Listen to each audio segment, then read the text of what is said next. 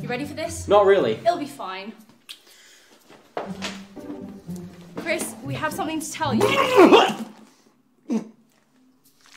I think that went well. You threw up and we both left. Nah, it's all in the past. It was literally 30 seconds ago. That's a matter of opinion. No, it isn't. Let's try again. Chris, we have something to tell you.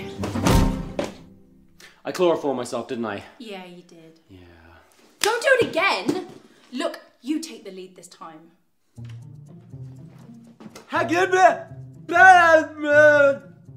Hmm. You see, the thing is, Jenny and I. I'll just kill him. I'm No, just gonna, no, just no, let me no, kill no. him. Let me shoot No, him in the face. no. Mom, Dad, I'm gay. Wrong!